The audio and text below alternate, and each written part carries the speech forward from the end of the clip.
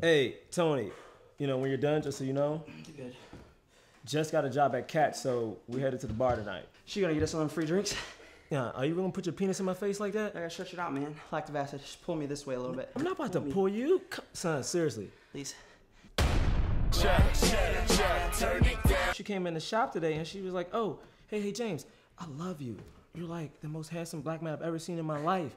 And she gave me a kiss and then she left. She give you a kiss on the lips or on the dick.